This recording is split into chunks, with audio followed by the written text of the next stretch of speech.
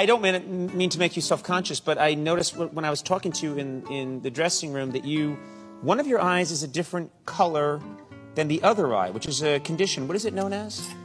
It's much less attractive when you give it its name. It's called heterochromia. It's a disease.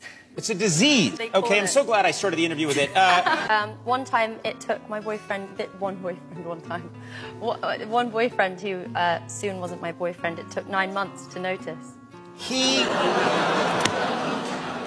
I understand. Uh, no, uh, he he's like nine nine months he was with you, and Yeah. and and you did you you got insulted that he he didn't look into your eyes and notice that. Yeah, he was like, Do you have different coloured eyes? I was like, What are you joking? What have you been looking at? Nine months in. So yeah, I have heterochromia.